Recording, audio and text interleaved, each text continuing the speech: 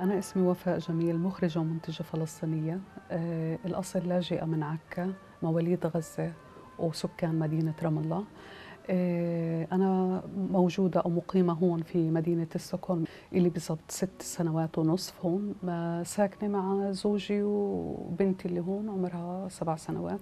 أنا بعمل في مجال الإخراج والإنتاج وأسست شركتي هون بستوكهولم من بعد ما انتقلنا هون بال 2017 وبشتغل في صناعة الأفلام من خلال التدريب من خلال صناعة الفيلم من A to Z بالإضافة للمشاريع الثانية اللي كلها بتتمحور حول الأفلام. ومعظم أفلامي طبعا بتتركز حول الهوية الفلسطينية والأرض. وطبعا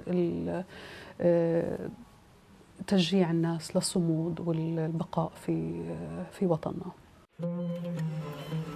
هذا الفيلم بيحكي عن قصة مزارع فلسطيني عايش في أرضه شايفه الأربع جهات حوالين المستوطنات هلأ بيحاولوا يكرموني من هون؟ ولا واحد ولدي في كل الولدة ولا في كل الضب بس هو اللي سواه عبد. حمى أرضه وشجرها وزرعها. أحد الأفلام اللي أنا بعتز فيها وبحس بالفخر أنه أنا قدرت أعمل وأنجز الفيلم اللي هو فيلم قهوة لكل الأمم. والفيلم قهوة لكل الأمم انعرض بأكثر من 70 مهرجان حول العالم.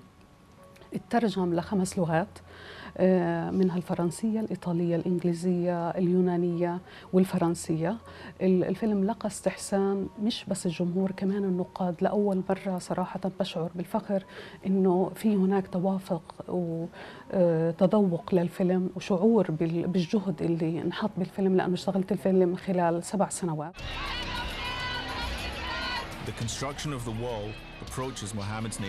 أول عمل لإلي اشتغلته أنا كان كمخرجة تنفيذية لعمل كان كتير مهم باعتقادي اسمه شهيد تحت السن القانوني. اشتغلت البرنامج كان عبارة عن 30 حلقة. الإشي الثاني اشتغلت عدة كمان أفلام منها الجذور كان لمؤسسة في بيت لحم.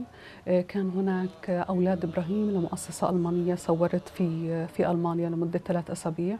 وانعرض الفيلم ولقى استحسان كمان.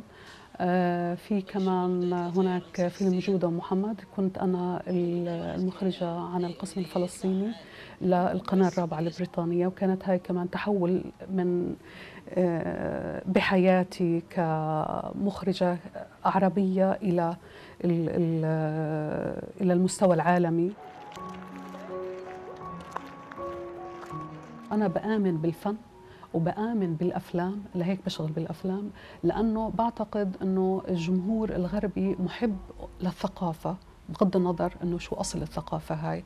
وفي هناك عطش للأفلام الفلسطينية فبشعر إنه من خلال الأفلام والمشاريع اللي لها علاقة بالثقافة ممكن إنه نحن نوصل رسالتنا كفلسطينيين بشكل كتير أقوى ما يقعد سياسي يقعد يحكي ثلاث أربع أيام.